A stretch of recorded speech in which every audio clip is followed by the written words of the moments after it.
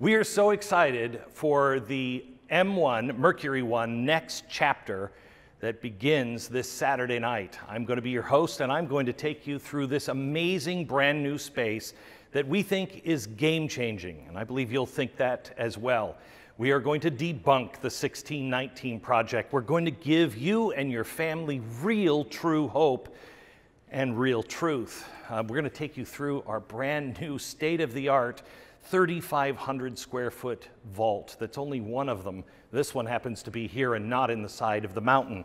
We are also going to be auctioning off some things to help rescue slaves, teach people, feed people, rescue people.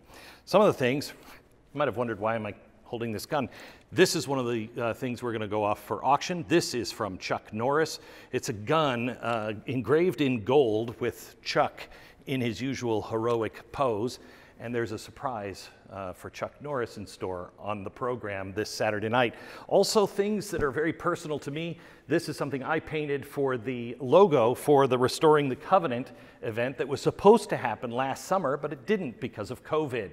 You can own this original signed by me and painted by me and so many other great things, including pieces of history. You do not want to miss it. It's this Saturday night. It happens at 8 p.m. Eastern. You'll find it on my Facebook page. You'll find it at M1 Next Chapter. Oh, by the way, when you go there, make sure you grab a raffle ticket. You can win a brand new Mercedes or come on down for a couple of days and get a personal tour of this space and see what we really do here at the American Journey Experience with me and David Barton. M1nextchapter.com.